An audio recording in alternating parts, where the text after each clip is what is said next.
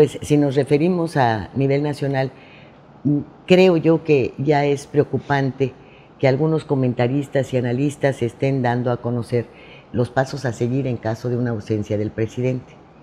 Y una ausencia que habría que aclarar no tiene nada que ver con la revocación de mandato, sino que están dando a entender que puede ser por enfermedad, que puede ser por motivos muy personales. Pero todo esto sale a relucir. A raíz de esta ira, de, este reflejo de mala salud que ya se le ve físicamente y que, bueno, algunos otros eh, comentaristas ya de con muchos años, con mucho prestigio, como Paco Rodríguez, hablan de la necesidad de que ya vea un neurocirujano, de situaciones que él consulta a varios médicos que eh, señalan que el hecho de que no fije la mirada, de que tenga la pupila este, un ojo para un lado y el otro para otro, pues ya te habla de un problema cerebral serio existente. las pausas, las lagunas, el, manejo de su lenguaje, pues también es revelador ya de, no de una condición óptima. En fin, por todo esto creo que también sale a relucir. Pero, ¿en qué momento hace crisis?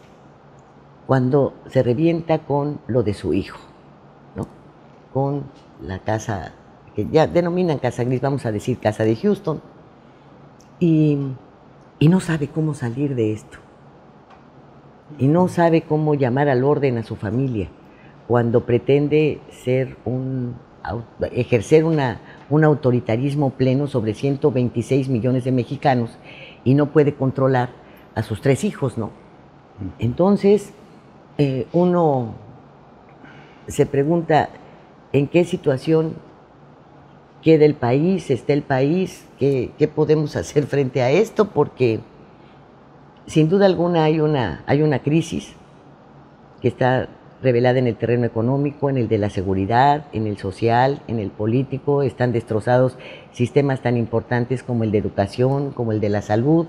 Estamos en una inseguridad que pues, ya lleva aquí a una cumbre que se va a celebrar el próximo viernes, en donde va a estar la DEA, el FBI, dándole clases e instrucciones, yo creo que a las autoridades mexicanas. En fin, creo que estamos en un franco lío. ¿Ustedes qué opinan?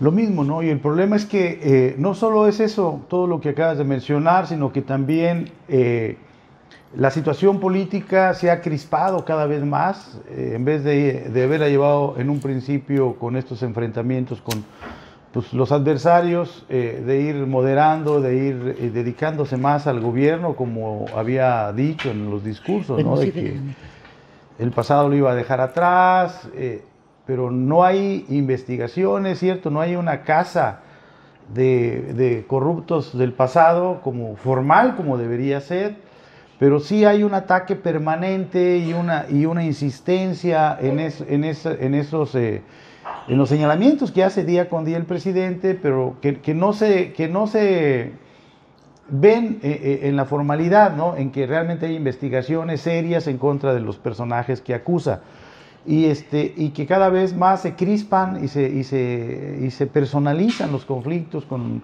con periodistas, ¿no? E, es entendible que, hay, que ha habido una campaña sistemática también en contra de, del gobierno de Andrés Manuel, pero no lo ha digerido y no lo ha asimilado y se ha enfrentado en vez de, de responder a la misma y, y, ha crispado las cosas. Y, sí, y la campaña sigue porque es, hay una reacción, contrarreacción permanente y esto pues eh, eh, lo hace que se enoje y, de acuerdo a la, descripción que acabas de hacer de, la salud, de ese diagnóstico que dan algunos eh, especialistas, pues esta situación no le hace bien al país y no le hace bien al propio presidente, ¿no? Y si le va mal al presidente, pues nos va a ir mal a todos al final de cuentas. Así es.